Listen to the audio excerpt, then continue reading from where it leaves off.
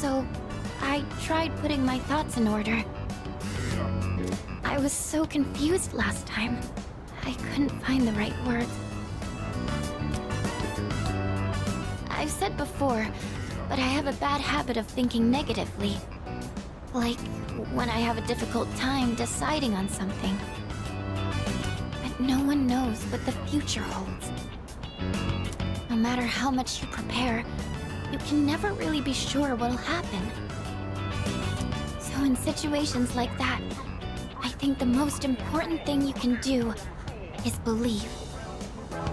You have to think positively and trust that the future will smile upon you. The thing is, I'm not sure I can do that. I don't understand how it comes so naturally to everyone else.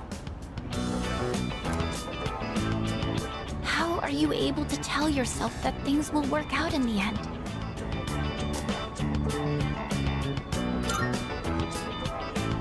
Oh, I see. You really are strong. I think... I really admire that part of you. So, um... The reason I've been relying on you isn't just because you're our leader. It's because... you're you. It needs to be you.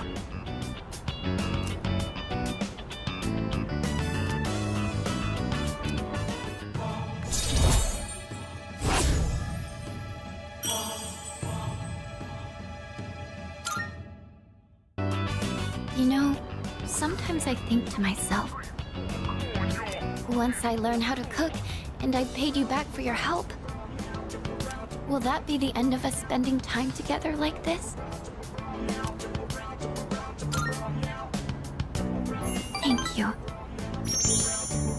But I'm sure there are lots of other people who depend on you, right?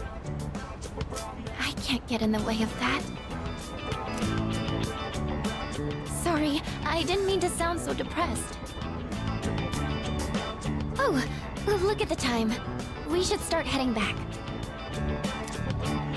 Hey, uh, do you mind if we'd make a small detour? I want to buy some ingredients. I think I'll tackle making Koro-chan's dinner today.